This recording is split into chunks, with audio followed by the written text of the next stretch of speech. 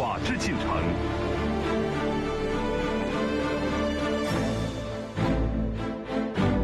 今日说法。地下文物圈，一条真假难辨的传言。要倒卖的文物是什么级别的文物？具体有多少数量都不明确。八千万成交价，被倒卖的文物即将流失。对盗掘的这个文物呢，要全部要收缴回来。这个决心是一开始就树立起来。一路追踪，六百四十六件珍贵文物来自哪里？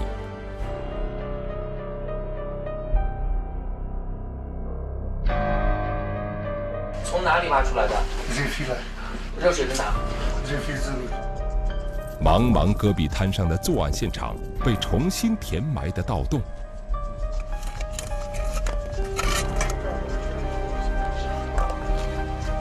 今日说法即将播出，追缴西域珍宝。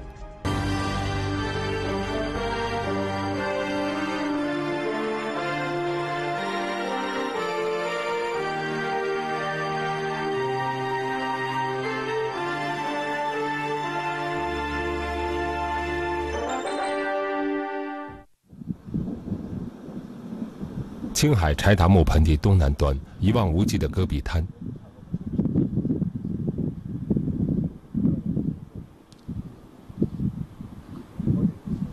下来给吧，那那婆婆下来给，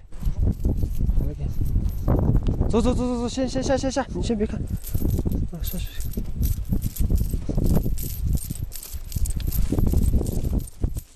在嫌疑人索某带领下，警方找到了案发现场。多深了？这个这个洞？这个八米，八米是吧？你挖的这个是个圆洞口吗？还是个是方洞？方洞口吧？是俺们长方形，是东西呃长吗？还是南北长的呀？东东西朝这东西朝这这么这么个是吧？这么走向的是吧？你看这照相机啊，许仙。索某指认的是一个盗墓现场，盗洞已被掩埋。盗洞的具体位置是青海都兰县穴位一号大墓东侧平台处。而说起这座大墓，非常奇特。墓葬封土堆由泥石混合物夯筑而成，层层叠起，如同盖楼一般，因此当地牧民称其为“九层妖塔”。各位好，这里是今日说法。穴位一号大墓及其周边的多个墓葬是国家重点保护的墓葬群，远近皆知。犯罪嫌疑人竟然在这样的地方实施盗掘，还挖走了大量的珍贵文物，这胆子可真不小。而随着案件调查的深入，更让人吃惊的内幕也随之被揭开。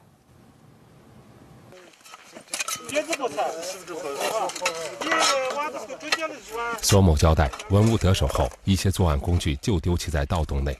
警察把盗洞重新挖开。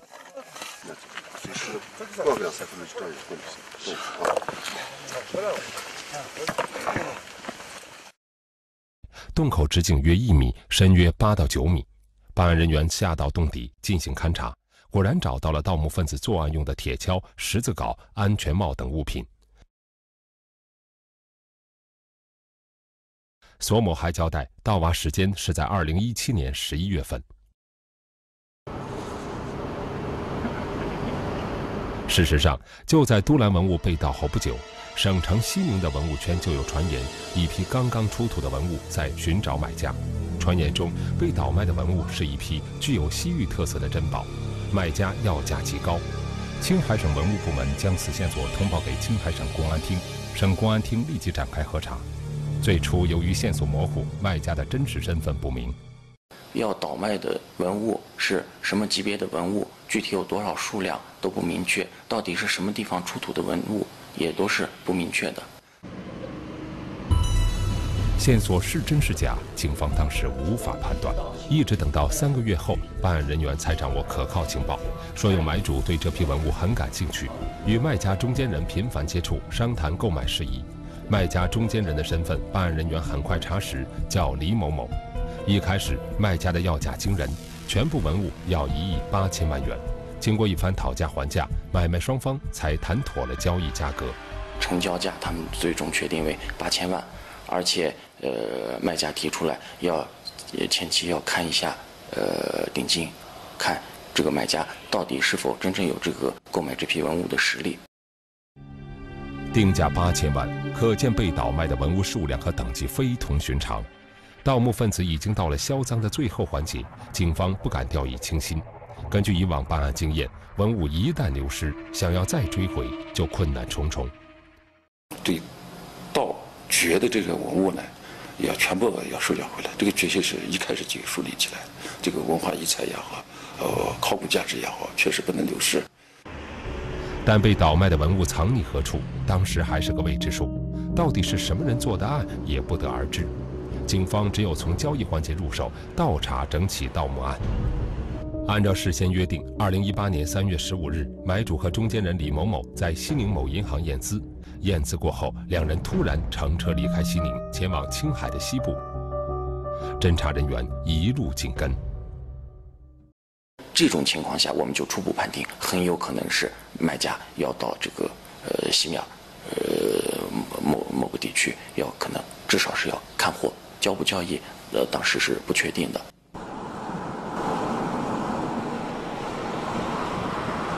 嫌疑车辆最后停留在都兰县境内。侦查人员心里有了判断，被倒卖的文物很可能从这里出土。都兰县内分布着上千座古墓葬，是青海省古墓葬最多的地区之一。历史上，都兰曾是西羌先民的主要住墓地，又是吐谷浑王国的主要活动中心区，也是吐蕃王朝的统辖地，墓葬遗存非常丰富。省公安厅立即将案情通报给了都兰县公安局。我听到这个消息时候，我压力特别大。要是都兰的文物要是这样大量的出去，我说我心里特别压力大，是不是事实存在？都兰公安随即布置大批警力，严密跟踪可疑车辆的轨迹。二零一八年三月十七日上午，可疑车辆进入都兰县一小区内。随后，买主和中间人李某某进入一户人家。下午十四点左右，他们走出小区，手上没有带任何东西。出来的时候，大家有说有笑，很自然的就出来。鉴于这种情况，我们判断，呃，这批文物很有可能就在刚刚看货的这个呃小区里边。就在买主和中间人准备驾车离开时，专案组下达了抓捕指令。两人当场就擒。经突审，他们承认刚刚看完文物，并约定好了下次交易时间。随后，警察冲进了两人刚刚看货的房间，屋内当时还有两个男子。经询问，一个叫夏某，一个叫苏某，都是本地人。这嘛，文物装在两个黑色书包内，警察把东西取出。是大量带有西域特色的金器、玉器等物品。哦，这这个了直接再分开下可能啊，全都摊过来哈。搜出来的文物越来越多，桌子上放不下，就全部铺在了客厅的地上。经现场清点，大小文物总计六百一十四件。非常震惊啊！当时打开这个书包，看见里边的这些东西一样样被清点出来的时候，当时。我除了震惊，呃，想不出第二个词儿可以形容我当时的心情。后来，办案人员又在嫌疑人夏某家中搜出文物三十二件，这样前后总计缴获文物六百四十六件。从哪里挖出来的？热水的。热水在哪？热水子那个，嗯，在这头呢，你上头房子。啥东西？菜缸房子啥里边？这个保护这就是墓呗，你知道吧？墓里边啊。夏某还交代，一同作案的有十多名本地人。警方当天就把这伙人全部缉拿归案。后经专家鉴定，这批文物属于公元八世纪的物品，兼具中原文化和西藏西域及西方文化色彩，具有极高的研究价值和考古价值。其中一级文物十六件，二级文物七十七件，三级文物一百三十二件。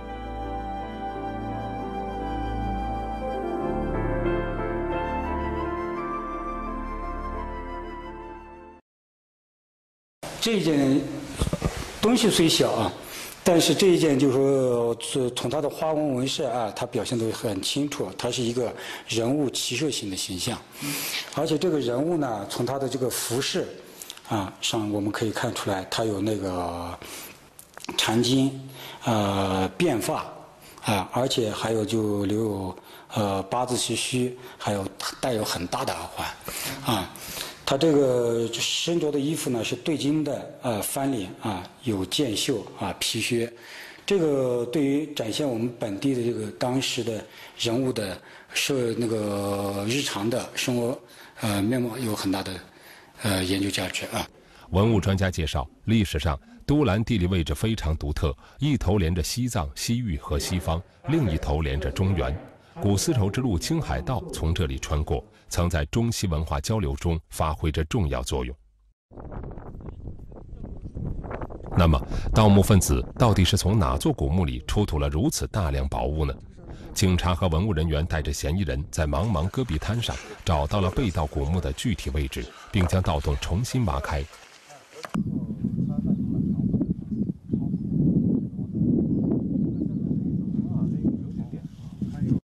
当时我和公安人员呢一一同就是下去到这个盗洞里头查看，查看呢就发现就有石墙和木头，啊，而且是拆拆拆凌乱的这些木板，啊，这木板上呢都贴有金箔，并且那个木板上还有人物画啊，非常的精美。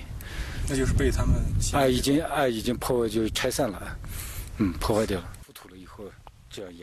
文物专家说，盗掘行为已经对墓葬结构造成一定破坏。墓主人的身份还有待进一步考古鉴定。这次的盗洞就处在著名的穴位一号大墓不远处。早在1996年，穴位一号大墓就被列为全国十大考古发现之一。当地牧民对这个地方极其敬畏，夏某等人却利欲熏心、胆大妄为，在此处实施盗挖犯罪活动。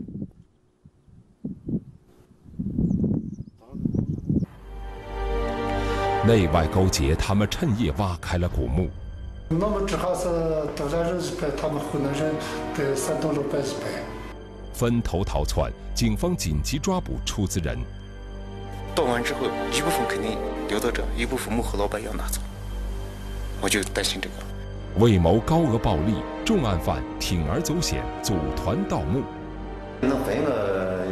二二二三十万他说句如果运气特好的话，开始老乡说的，他说能这些东西啊能卖两千万啊。追缴西域珍宝，今日说法正在播出。大量稀世珍宝被成功的追回，这让警方稍稍的松了一口气。而在接下来的审讯过程中，犯罪嫌疑人称，他们也只是承担望风。接应的外围工作的，具体实施盗挖的，其实还有另外一伙河南籍的作案人员。此外，幕后还有出资人。这么说来，案子到此，侦办抓捕工作还远远没有结束。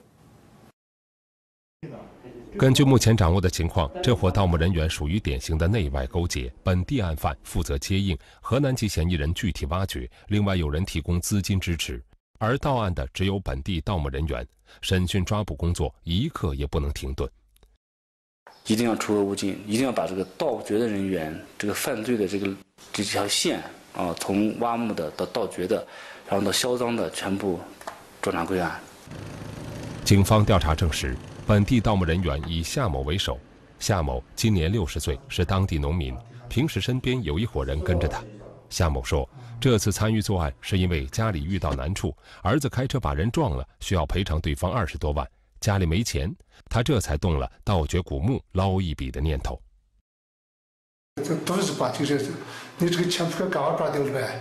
啊，还不小心都不不想打官司走了呗，赶快抓掉了呗。实际上，警方查明，早在2016年，夏某就实施过盗墓活动。当时，他和几个同伙挖出文物并进行倒卖，获利二十万元。经过我们调查，他是一直在这个倒卖文物，还有这个组织盗掘。对于河南籍盗挖人员的真实身份，夏某说他叫不上名字。这些人大都是出资人，山东的孙某带过来的。作案前，大家已经谈妥了分赃比例。是那么只还是多少人一百，他们河南人在山东六百一百。接下来，办案人员对出资人孙某实施重点抓捕。孙某，山东聊城人，无业。当时让警方最为着急的是，出资人孙某身上很可能还会藏有文物，必须尽快抓捕归案。盗完之后，一部分肯定留到这，一部分幕后老板要拿走，我就担心这个。那这么长时间了，万一这些……文物流失了咋办？经过几天时间侦查，警方发现孙某居然并没有离开青海，而且就在临近都兰的乌兰县活动。他其实是过来以后，专门是到想打算到都兰来过来看一下文物文物的情况，想抓紧时间把文物出手。事不宜迟，侦查员立即赶赴乌兰县，在某宾馆将孙某抓获。到案后，经审讯，孙某承认和夏某合伙盗掘古墓的犯罪事实，但说文物挖出后，他一件没带走。接触了这方面的朋友，又上青海来，这是第二次，都说都哎都完了这一生。孙某自称以前是做生意的，做生意中结识了一些搞古董的朋友，当时有一个叫老朱的河南人，竭力拉拢他来青海。投资盗墓发财，说是本地人已经找好了盗掘地点，挖下去就能出土文物。哎，他说有关系，他说你，呃，这比较安全，你光少投点钱，你投七千五，我投七千五，哎，都够了。来回都是从从河南上这来，呃，来回也超不过他十天，哎。孙某交代，在挖出这批文物之前，他和夏某其实已经组织了另外两拨河南籍人员在都兰盗挖。因为没有挖出文物，心灰意冷的他正准备离开青海。这时夏某对他说：“已经又找好了一个盗掘地点。”啊，你那个摸了第一次，你赔钱了，也没有，也没挖出他东西来。他说：“我看你人能实在，他说这样不，我再找个点。”夏某最后选择的盗掘地点就位于闻名中外的穴位一号大墓东侧。这一次仅仅盗掘了两个晚上，就出土了大量文物。你看那瓶子都变形了，两个大盘子也都折了，哎，是吧？哎，都折了都是，哎，我寻思他这个还值多少钱了？嗯嗯，不值钱。他们说我，他说你不懂，哎。文物挖出后，夏某和孙某带着六百多件西域珍宝四处倒卖，先后到西宁、格尔木、陕西等地销赃。由于价格问题一直谈不拢，文物迟迟出不了手。其中有一次。像是这个给他报了个八百万，老乡，八百万嘛，后来又给他降了，降了他六百万，六百万也没有卖。孙某说，在一次销赃过程中，文物差点被人抢走，这以后他们不敢把文物轻易示人，东西就一直留在都兰。文物卖不出去，知道的人却越来越多。夏某当时就预感到可能要东窗事发。这小偷这百分之百抓，这肯定。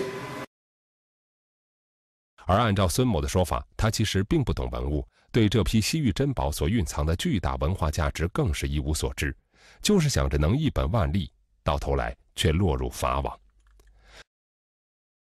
初次犯法，我也也考虑个事儿了咋咋咋办？完就是家庭对不起老的孩子，这种这种的伤害，是吧？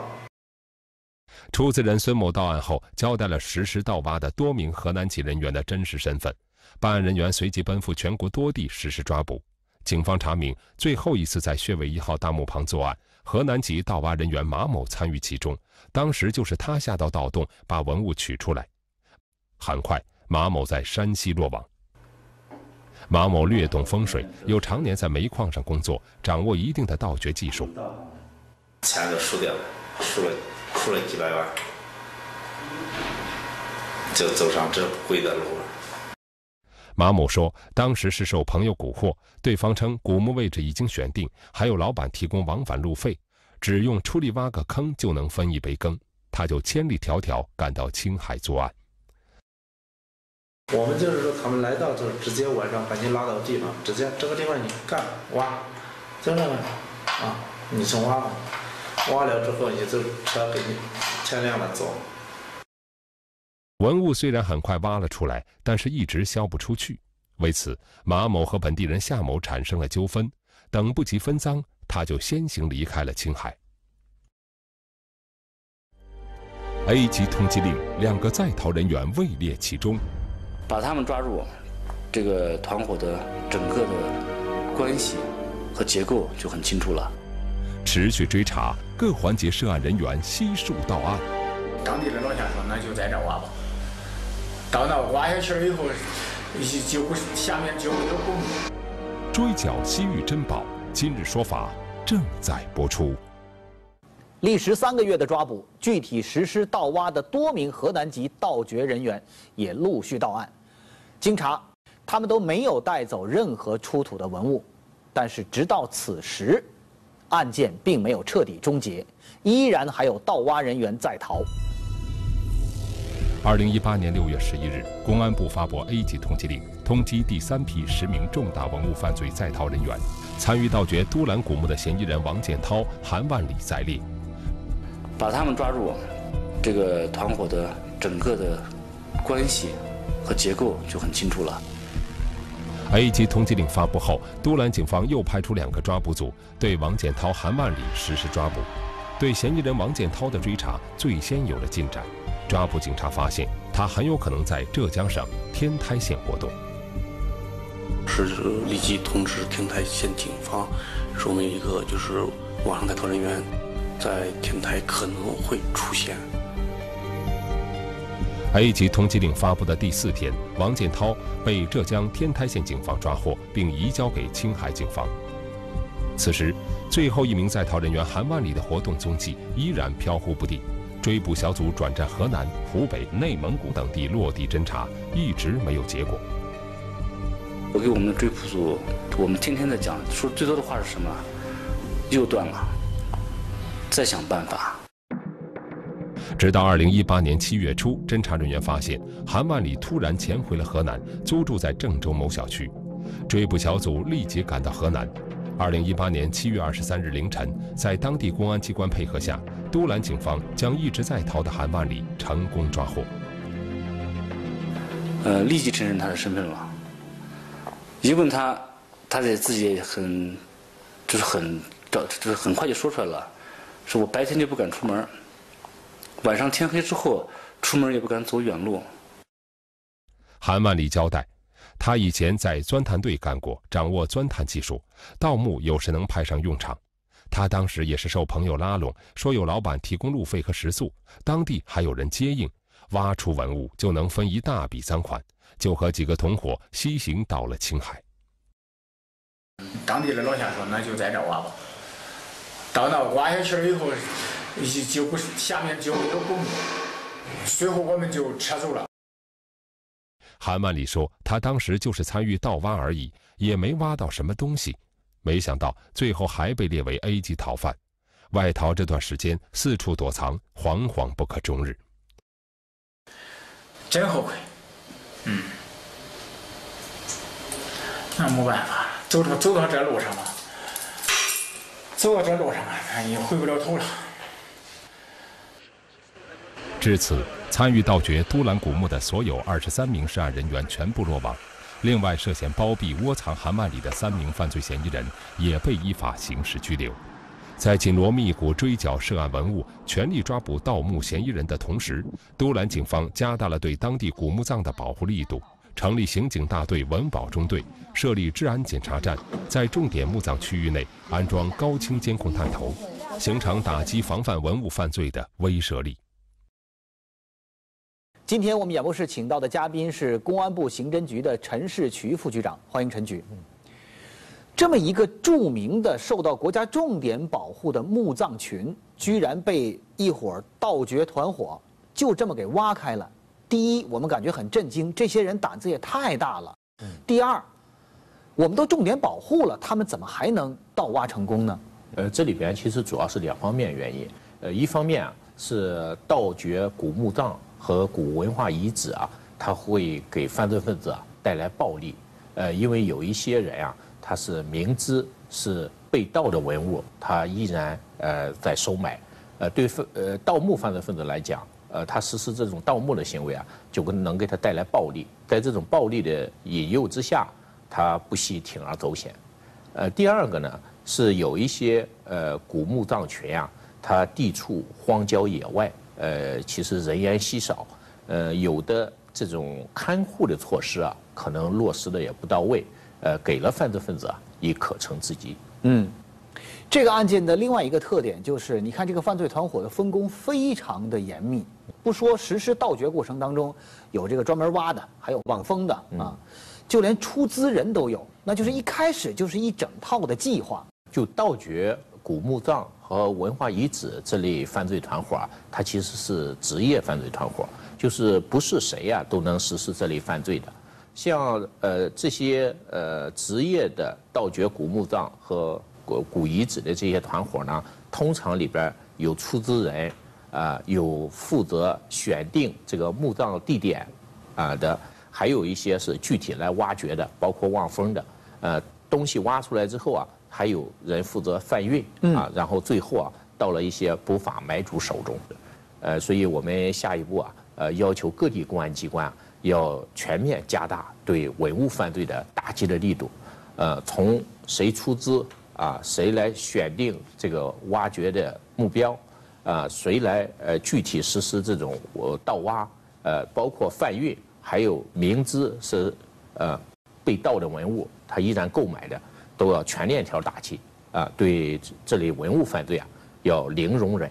呃，当然，在公安机关严厉打击的同时啊，呃，文物部门还有相关部门啊，要采取呃综合治理的措施，要加强对这些古文化遗址啊、古墓葬的看护啊，不给犯罪分子下手的机会。盗墓分子的盗掘行为既破坏了古墓葬结构，也破坏了文化传承，而且这个文物一旦被倒卖流失，更会造成不可估量的经济和文化损失。所以说，保护文物就是保护整个中华民族的文化血脉，而属地管理的责任部门更应该切实肩负起监管责任，守护好老祖宗留下的珍贵遗产。感谢各位收看今天的《今日说法》，也感谢陈局参与演播室的讨论。观众朋友们，欢迎您接下来继续收看中央电视台第一套节目综合频道的其他内容。明天见。